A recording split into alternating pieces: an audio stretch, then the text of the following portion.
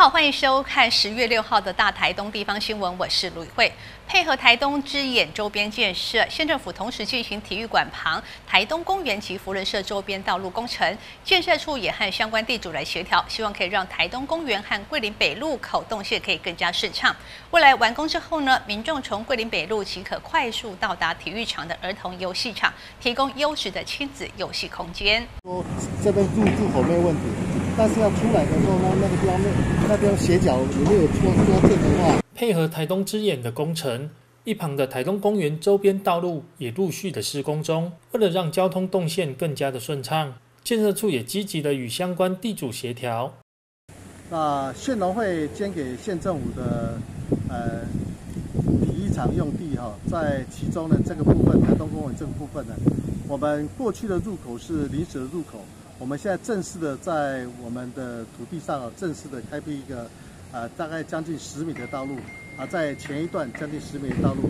啊，就经过福伦社前面这个地方，然后接到那个巷口，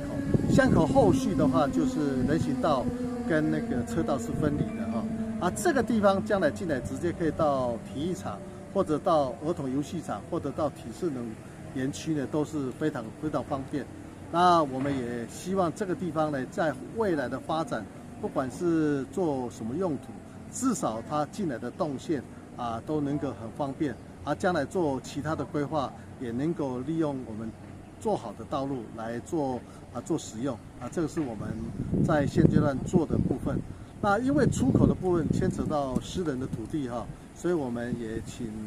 里长协助来协调，如何在出口跟桂林北路交叉的地方能够抓抓正啊。因为这个路将来使用是几十年的长也要使用啊，希望这个路型的进来的出入口啊，考虑到将来出入的安全，我们希望把这个路的出入口能够做完整。所以我们目前呃有些部分的土地啊，请相关的地主来来做配合，然后我们今天在做协调，也感谢里长的配合，里长的协助。建设处表示，为了让民众有更好的行车动线，在福伦社入口处特别将路口加大，让车辆进出更加的方便，也能更顺畅的到达体育场、儿童游戏场，让亲子都能享受到优质的空间。记者潘俊伟台中市报道。